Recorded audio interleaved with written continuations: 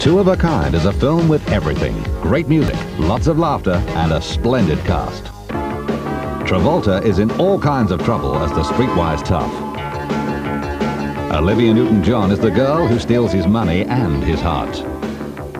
Charles Durning plays a most unpredictable angel, and Oliver Reed spreads a little evil as they all join the chase for a large pot of gold. $3,000. How much? What are you doing? How much? I told you 3000 How much? All right, 5000 Five thousand. I don't believe it. Okay, 8600 8600 that's all there is, I swear. Eight thousand six hundred. Get it. Hey, your mother's on the phone with me.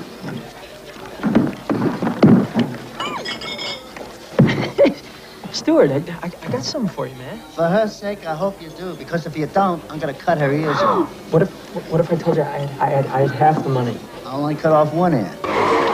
As the story gallops along and the stakes get higher, Travolta learns a few special lessons and falls in love. What are you gonna do, man? Hey, hey, back behind the barricade. my barricade. girlfriend there. What are you gonna do? We're gonna wait to hear his demands. Oh, just wait. That's it.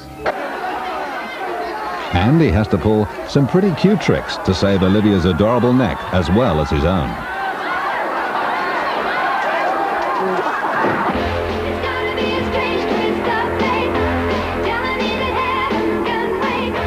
With lots of good music by the stars themselves, as well as Boz Scaggs and Chicago, an unusual action-packed plot, and two great comedy performances by Olivia and John, Two of a Kind is the right kind of movie for a great family evening.